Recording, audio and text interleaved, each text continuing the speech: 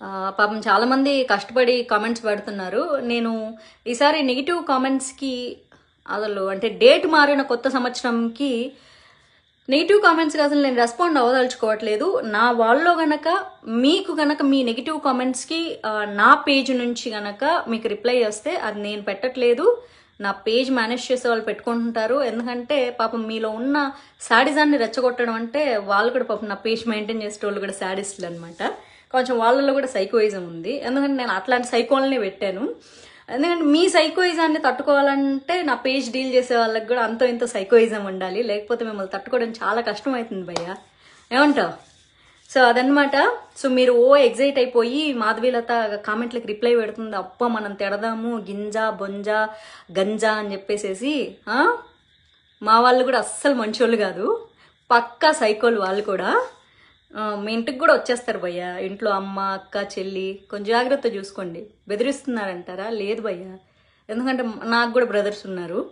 అందుకని చెప్తున్నా. మీరు నన్ను అంటే వాళ్ళు అంటారనమాట టిట్ ఫర్ దాట్ ఎందుకంటే భూమి మీద ఎప్పుడు మంచోళ్ళు లేరు. కాబట్టి మీ మీరు మంచోళ్ళు కానప్పుడు నేను కూడా డెఫినెట్గా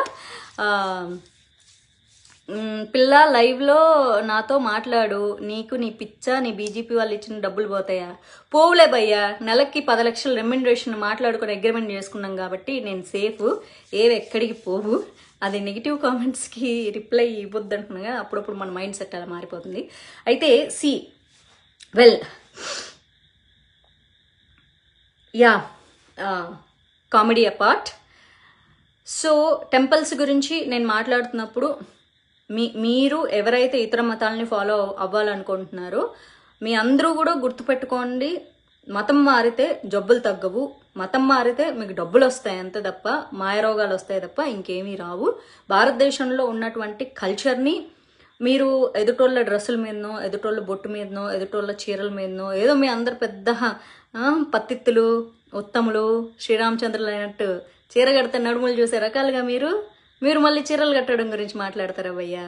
చీర కట్టుకున్నా సరే పళ్ళు ఇట్ట పైకి లాగి ఇక్కడ పిన్నులు పెట్టుకోవాల్సిన పరిస్థితి వెనక లాగి పిన్నులు పెట్టుకోవాలి. అవసరమా మాకు? టీ షర్ట్ వేసుకుంటే ఫుల్గా ఉంటుంది కదా. ఏదో మీ మీ కక్కుర్తికి చీర కట్టుకోమంటారు. తొంగి తొంగి నడుములు చూడొచ్చు అటుపక్క నుంచి అది చూడొచ్చు వెనక నుంచి ఇది చూడొచ్చు. ఇదేగా మీ వ్యాపారం?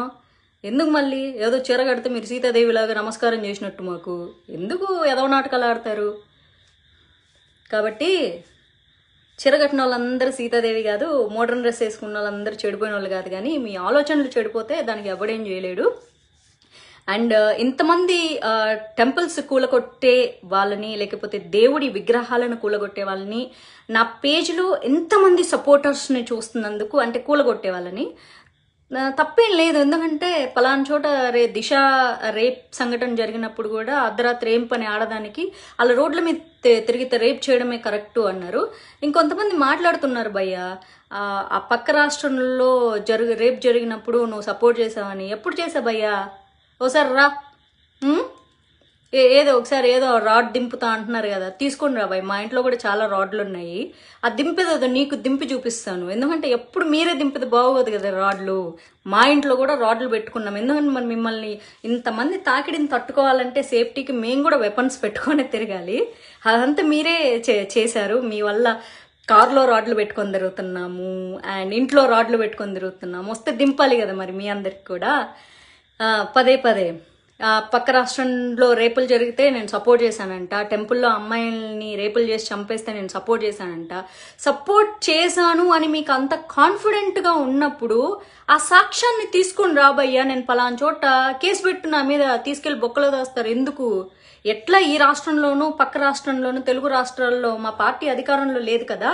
సో న్యాచురల్లీ నేను తప్పుకు సపోర్ట్ ఒక ఆడపిల్లని రేప్ చేస్తే మాధవీలత బీజేపీ బీజేపీలో అందరూ ఉత్తమోత్తమ పురుషులు అని నేను ఎప్పుడు స్టేట్మెంట్లు ఇవ్వలేదు. గుర్తుపెట్టుకోండి మాధవీలత తప్పు చేస్తే బీజేపీ వాళ్ళనైనా కడుగుద్ది.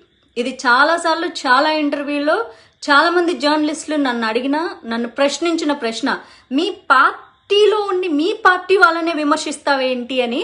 సో ఇక్కడే అర్థమవుతుంది నేను ఎవ్వడికి ఒత్తాస్ పలికే టైప్ కాదు. నాకు నచ్చితేనే నేను ఎక్కడైనా ఉంటా. నాకు నచ్చకుండా ఇంకెవడికో మనుషులకో లేకపోతే ఒక వ్యవస్థకో ఒక సంస్థకో ఒత్తాస్ పలికే టైప్ అస్సలు కానే కాదు.